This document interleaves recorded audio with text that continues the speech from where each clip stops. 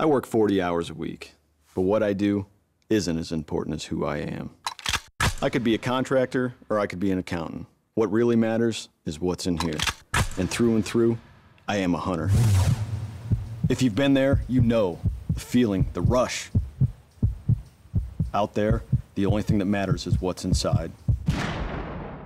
Federal premium ammunition. In the field, on the range, every shot counts.